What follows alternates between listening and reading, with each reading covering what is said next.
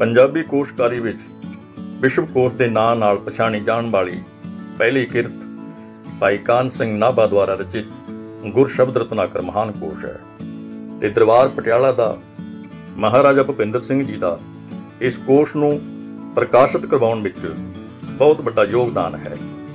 ਖੁਦ ਭਾਈ ਕਾਨ ਸਿੰਘ ਨਾਭਾ ਮਹਾਨ ਕੋਸ਼ ਦੀ ਭੂਮਿਕਾ ਦੇ ਵਿੱਚ ਲਿਖਦੇ ਨੇ ਕਿ ਕਿਵੇਂ ਗੁਰ ਸ਼ਬਦ ਰਤਨਾਕਰ ਮਹਾਨ ਕੋਸ਼ ਤਿਆਰ ਕਰਨ ਵਿੱਚ ਤੇ ਬਾਅਦ ਵਿੱਚ ਇਸ ਨੂੰ ਛੁਪਵਾਉਣ ਵਿੱਚ ਉਹਨਾਂ ਨੂੰ ਮੁਸ਼ਕਲਾਂ ਆਈਆਂ, ਜੋ ਕਿ ਖੁਦ ਭਾਈ ਕਾਨ ਸਿੰਘ ਨਾਭਾ ਇਸ ਪ੍ਰਕਾਰ ਦੱਸਦੇ ਨੇ।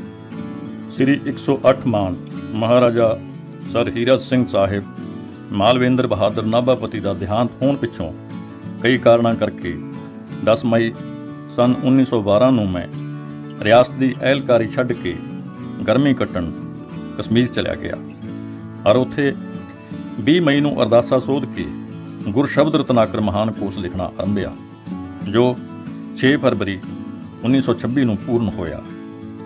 ਗ੍ਰੰਥ ਤਿਆਰ ਹੋਣ ਪੁਰ ਇਸ ਦੇ ਛਾਪਣ ਦੀ ਚਿੰਤਾ ਪਈ, ਕਿਉਂਕਿ ਮਹਾਰਾਜਾ ਵਰਜਿੰਦਰ ਸਿੰਘ ਵਰਜਿੰਦਰ ਸਿੰਘ ਸਾਹਿਬ ਫਰੀਦਕੋਟਪਤੀ ਨੇ, ਜਿਨ੍ਹਾਂ ਨੇ ਇਸ ਗ੍ਰੰਥ ਨੂੰ ਛਪਾਉਣ ਦਾ ਵਚਨ ਦਿੱਤਾ ਸੀ, ਪਰਲੋਕ ਸੁਧਾਰ ਗਏ ਔਰ ਮਹਾਰਾਜਾ ਰਿਪਦਮਨ ਸਿੰਘ ਸਾਹਿਬ, ਮਾਲਵਿੰਦਰ ਬਹਾਦਰ ਨਾਭਾਪਤੀ, ਜਿਨ੍ਹਾਂ ਨੇ ਡੂਢ ਔਰ ਚੋਖੀ ਰਕਮ ਛਪਾਈ ਲਈ ਮਨਜ਼ੂਰ ਕੀਤੀ ਸੀ, ਰਾਜ ਤਿਆਗ ਕੇ ਨਾਭੇ ਤੋਂ ਚਲੇ ਗਏ। ਰਿਆਸਤ ਦੇ ਪ੍ਰਬੰਧਕ, ਐਡਮਿਨਿਸਟ੍ਰੇਟਰ ਨੇ ਖਜ਼ਾਨੇ ਮਸਤਾਨੇ ਦੱਸ ਕੇ ਗ੍ਰੰਥ ਛਪਵਾਉਣ ਤੋਂ ਨਾ ਕਰ ਦਿੱਤੀ।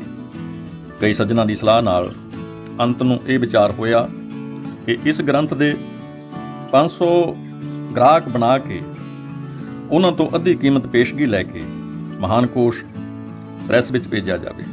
ਇਸ ਲਈ ਹਜ਼ਾਰ ਕਾਪੀ ਨਮੂਨੇ ਦੀ ਛਾਪ ਕੇ ਵੰਡੀ ਗਈ ਅਤੇ ਅਖਬਾਰਾਂ ਵਿੱਚ ਇਸ਼ਤਿਹਾਰ ਦਿੱਤਾ ਗਿਆ, ਜਿਸ ਤੋਂ 9 ਮਹੀਨਿਆਂ ਵਿੱਚ ਕੇਵਲ 200 ਕਾਪੀਆਂ ਦੇ ਗ੍ਰਾਹਕ ਕੁਝ ਸੱਜਣ ਬਣੇ, ਜਿਨ੍ਹਾਂ ਵਿੱਚੋਂ 70 ਕਾਪੀਆਂ ਦੇ ਗ੍ਰਾਹਕ ਇਕੱਲੇ ਸਰਦਾਰ ਬਹਾਦਰ ਸਰਦਾਰ ਧਰਮ ਸਿੰਘ ਜੀ ਸਰਕਾਰੀ ਠੇਕੇਦਾਰ ਦਿੱਲੀ ਸਨ।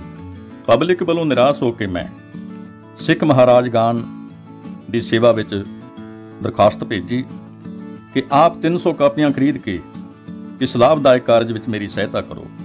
ਇਸ ਪੁਰ ਮਹਾਰਾਜਾ ਭੁਪਿੰਦਰ ਸਿੰਘ ਸਾਹਿਬ, ਮਹਾਰਾਜ ਭੁਪਿੰਦਰ ਸਿੰਘ ਸਾਹਿਬ ਮਹਿੰਦਰ ਬਹਾਦਰ ਪਟਿਆਲਾ ਪਤੀ ਨੇ ਮੈਨੂੰ ਚਾਇਲ ਸੱਦ ਕੇ 1 ਅਕਤੂਬਰ 1927 ਨੂੰ ਹੁਕਮ ਫਰਮਾਇਆ ਕਿ ਮਹਾਨ ਕੋਸ਼ ਦੀ ਸਾਰੀ ਲਾਗਤ ਅਸੀਂ ਦੇਵਾਂਗੇ।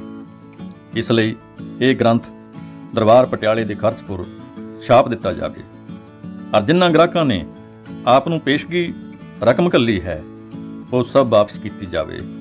ਇਸ ਅਨੁਸਾਰ ਮੈਂ ਧੰਨਵਾਦ ਸਹਿਤ ਸਾਰੇ ਸੱਜਣਾ ਨੂੰ ਰਕਮ ਮੋੜ ਦਿੱਤੀ ਔਰ ਸੁਦਰਸ਼ਨ ਪ੍ਰੈਸ ਅੰਮ੍ਰਿਤਸਰ ਵਿੱਚ 26 ਅਕਤੂਬਰ 1927 ਤੋਂ ਗ੍ਰੰਥ ਛਪਵਾਉਣਾ ਸ਼ੁਰੂ ਕੀਤਾ, ਜਿਸ ਦੀ ਸਮਾਪਤੀ 1 ਵਿਸਾਖ ਸੰਮਤ 1987 13 ਅਪ੍ਰੈਲ ਸਨ 1930 ਨੂੰ ਹੋਈ। ਮੈਂ ਧੰਨਵਾਦੀ ਹਾਂ। ਸਤਿਗੁਰੂ ਦੇ ਸਾਜੇ ਨਿਵਾਜੇ ਸਿੱਖਾਂ ਦੇ ਮਾਨ ਰੂਪ ਦਰਬਾਰ ਪਟਿਆਲਾ ਦਾ, ਜਿਨ੍ਹਾਂ ਦੀ ਕਿਰਪਾ ਨਾਲ ਇਹ ਗ੍ਰੰਥ ਪਾਠਕਾਂ ਦੇ ਹੱਥ ਲੱਗਾ। ਵਿਦਿਆ ਪ੍ਰੇਮੀਆਂ ਦਾ ਸੇਵਕ ਕਾਨ ਸਿੰਘ।